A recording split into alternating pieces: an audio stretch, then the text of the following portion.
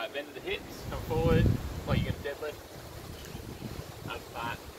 Keep your elbows locked.